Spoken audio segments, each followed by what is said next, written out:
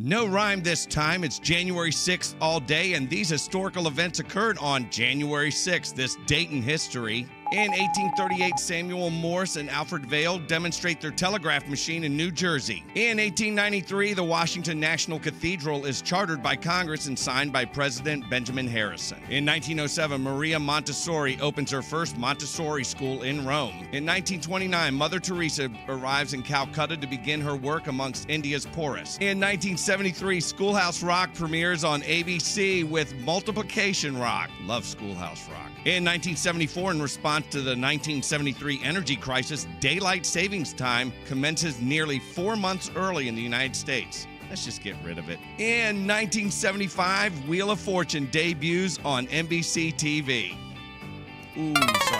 In 1994, U.S. figure champion Nancy Kerrigan is attacked by Tonya Harding, her rival's bodyguard, at the U.S. Championships in Detroit. In 2016, Star Wars The Force Awakens breaks the North American box office record, passing the $760 million taken in by Avatar previously. In 2021, supporters of U.S. President Donald Trump stormed the Capitol in Washington during congressional certification of Joe Biden and Kamala Harris's win, prompting evacuation of lawmakers and Vice President Mike Pence. And in 2023, a U.S. teacher is shot by her six year old student in Rich Neck Elementary School, Newport News, Virginia. What in the world? What happened each date won't be a mystery if you subscribe to my channel for this date in history. Like, share, subscribe, plus check out the comments for even more January 6th history. Not bad for a Saturday when I'm really tired and it's raining and cold outside.